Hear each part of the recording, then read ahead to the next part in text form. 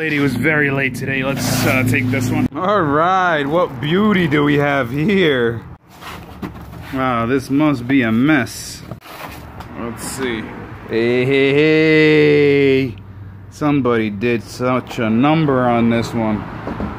It's one of those I have to take it apart first before I can even test it. Well, that shell is garbage.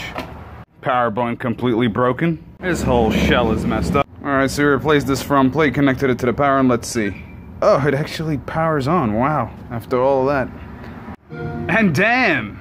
It's actually turning on. It's on the TV. Let's see if it actually uh, runs. We're installing a new shell on this.